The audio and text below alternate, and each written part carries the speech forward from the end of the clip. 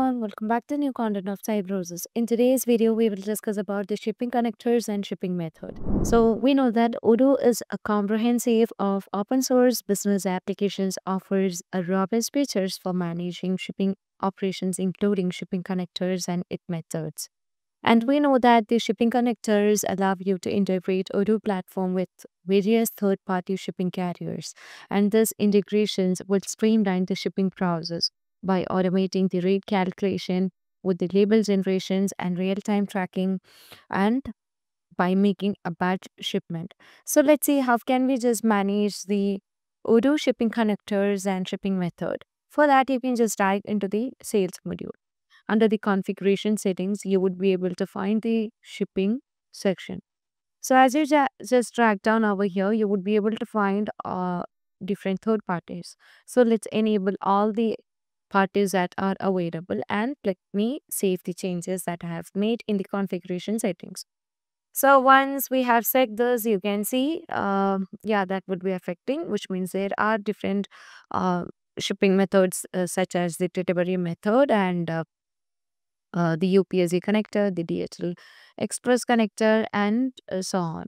We know the ShipRocket connector is just introduced in Odoo 17 and we have a new shipping connector called Starshipit connector which we have already 10 in a video. So if you uh, want to know how to use the Star, Starshipit connectors in Odoo platform, you can just watch that video. So uh, here we can just use this delivery method. As you just move on to the delivery method, shipping methods, here you can see that uh, all the delivery methods that are available is shown over here. So you can just choose any of the delivery method from here. I'm going to choose the post as the delivery method. So here we can also set the provider. So it can be based on the rules, fixed price, PP POS, DHLs, and so on. So I would like to set it as based on rules. So based on these conditions, uh, we will be using this delivery method. And uh, if you want to install more providers, you can install that here. You can find the uh, providers over here. Uh, and uh, currently we haven't activated one of the delivery method, which is a delivery mondial uh, relay and if you want to do that you can just go with it.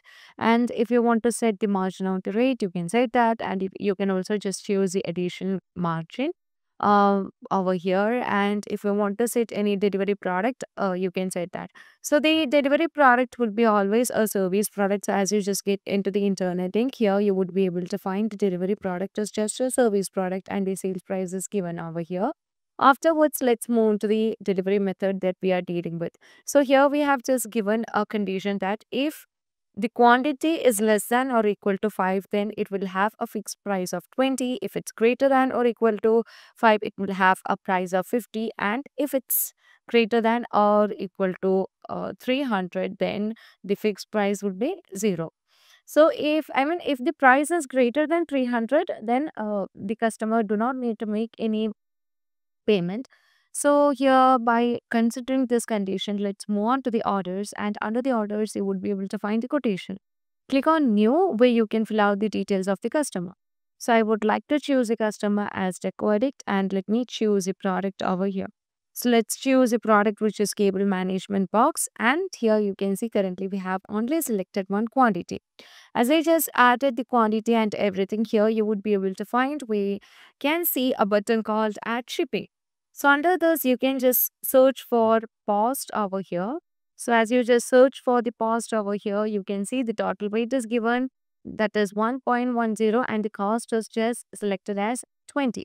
So here we know that if the customer is just placing order from 1 to 5, then the customer has to make a shipping cost of 20. Now let me change the quantity to 5. Okay. So uh, I mean uh, not 5 uh, let it be 6. So uh, let's click on add shipping and let's choose the post. And here you can see the customer has to make uh, a payment of uh, 50 as the shipping cost. This is because currently uh, it's going with the second rule. That is, if uh, the customer is just going above 5 quantity, the customer has may need to make a payment of 50 over here. Now let me add the shipping method and uh, click on add so that that will be added under uh, the order lines and here you can see the price is just added with uh, the untaxed amount of the product and here you can see the total over here so that's how we just manage with the shipping connectors and shipping cost in um, um, in Odoo 18 sales module. So that's all for today. Thank you for watching the video.